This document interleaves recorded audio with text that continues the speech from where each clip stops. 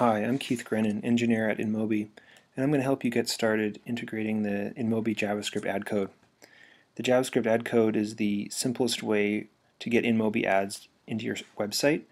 Uh, it's rich media ad compatible, and it offers a low latency solution so your site will load faster um, and won't be blocked by ads loading.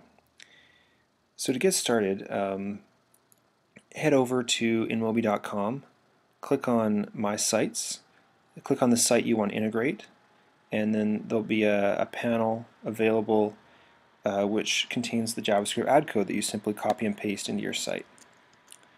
So just copy that and um, paste it into the uh, area of your site that you'd like ads to show up. There's two parts to the ad code. There's a, a JavaScript configuration variable and then there's the ad code itself which is a JavaScript include. Um, the configuration contains the site ID, which should already be filled out. It defaults to slot 15, which is a 320 by 50 pixel rich media compatible banner slot. And uh, the test variable should be set to true while you're testing your integration and then can be removed when you're ready to go live. And when a user sees a, uh, a rich media ad, um, they'll often uh, see an, animated banner and uh, will um, the ad will contain um, rich media features like video, animation, and other interactive features. And uh, when the user is done the experience, after they've clicked the banner and have uh, interacted with the ad, you just simply um, close the ad and it returns back to the original size.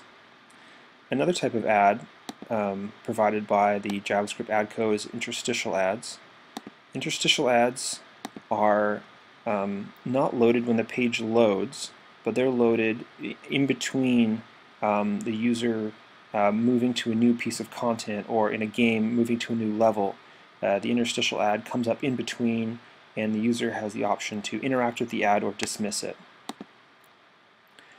So uh, in this case, I've manually triggered this interstitial ad to come up, but in, on the case of a regular site, this ad would just be triggered by um, the normal flow of the website.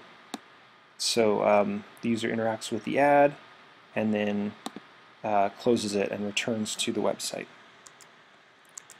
So more information on that is available in the wiki and uh, just click on integration manual and uh, it takes you to the wiki which has um, detailed information about uh, integrating um, banners, interstitials, and uh, includes a section on demographic information. If you want to have more specific targeting of users, you can pass um, demographic information in that um, that initial, that first JavaScript tag that contains the configuration simply by adding these parameters to the tag that'll pass those to the ad server and enable uh, demographic targeting of, of users.